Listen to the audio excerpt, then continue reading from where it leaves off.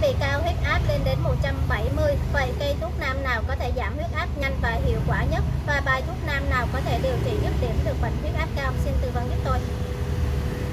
Chào bạn, huyết áp của người bình thường là 70 trên 120 Mẹ bạn bị huyết áp lên tới 170 là rất là cao bạn nhé.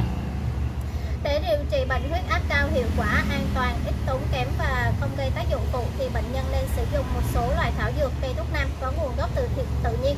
Việt Nam ta là nước có khí hậu mát mẻ, mưa nhiều, thảm thực vật nước ta có rất là nhiều cây thuốc dùng để điều trị bệnh huyết áp cao và trong đó có một số cây thuốc điển hình như là cây giảo cổ lam, hoa hòe, cây xạ đen, củ ba kích tím và mướp đắng rừng.